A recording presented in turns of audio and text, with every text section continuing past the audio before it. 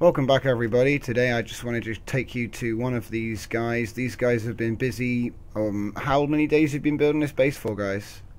Four. We started on the first night of the new patch. Started on the first night of the new patch. How many people are there in your faction? Uh, primarily four. There's a few more who've been on and off, but uh, most for, for, the most part, it's been four of us. Uh, uh Plus nine, Cowman, Chicken Wild Style, and Captain Psy. Captain Psy. Very nice. And so this is your home base. So it's primarily just a dock, isn't it? Most of it is just docking. Right. That's all it needs to be for now because it's invulnerable. Um, you know, the the nice thing about your first station is as long as you've got it set to home base, it doesn't need shielding, so you can really save on material there. Yep, yeah, okay, cool. And uh, obviously we don't use enhancers, that saves a bit too, but let's take a look at your your little factory here. So we're to go. Uh, so this has been our pride and joy. We started on uh, one planet that we searched out as many um, as many kind of different uh, material types as we could, and we found a planet with pretty much everything except for Nox and Noct, I think.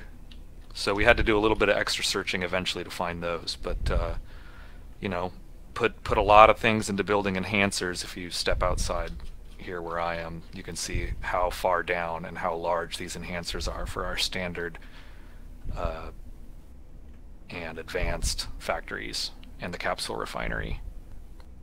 So it, it, it really pays having a, an efficient factory in addition to just sort of like having one of everything. It, it, those enhancers are really worth worth it. So look at these enhancers then. Where are they? Outside. Oh, it's I see these them. big, yeah, these big waffles coming down. I see what you've plates. done. Those yeah. are all enhancers, each for the different types of factories above, which are what really open up your ability to manufacture this block or that block. Yeah. Also, something that we took into account was that we have separated them so that if we want to have more processing power for a single one, we can go into build mode and then we can just connect another group of them. Yeah, I see what you're saying. Yeah, well, nice. yeah, we, and we should definitely say that um, one thing that has made this successful is that in addition to having, you know, not just having to do everything yourself, like do all the salvaging, building the factory, you know, usually there's one or two of us off salvaging. I'm off scouting a scouting for a shop that still has money.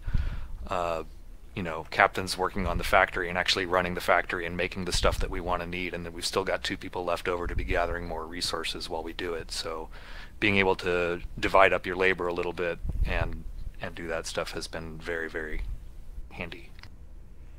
Nice. And so, how easy has it been to actually obtain the bits that you need with the new system?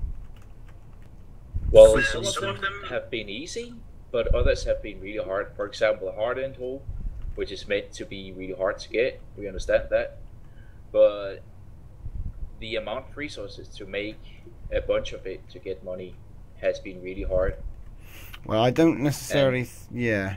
Yeah. But we also we also noticed that the trading guild was like adjusting prices based on what was getting sold to them and yeah. what people were buying out of shops too, right? So when we noticed how many people were buying warp gates because everybody wants to make a warp gate, mm-hmm. uh, we specifically went out and, and searched out that knocked crystal and made as many warp gate modules as we could, and we made a really tidy sum off of that. See, that's that's what I'm talking about. Finding out what the players want, producing what they want, and then selling them. That's the way to make money. You can't just say, "Oh, you just need to sell ice crystal to the shop." no, just, that doesn't work anymore because the prices in, that the trading guild sets are adjusted based on who's buying what.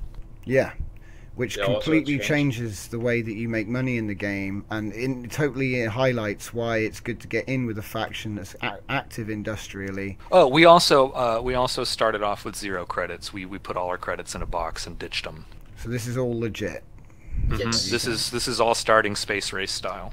Very yes, nice. We kept the uh, with the exception of Chicken's ship. Yeah, yeah. Well, the, a few of the ships, because obviously we have an interesting thing. We allow ships to come in on lineup, so many of these ships will have just been brought in through that system.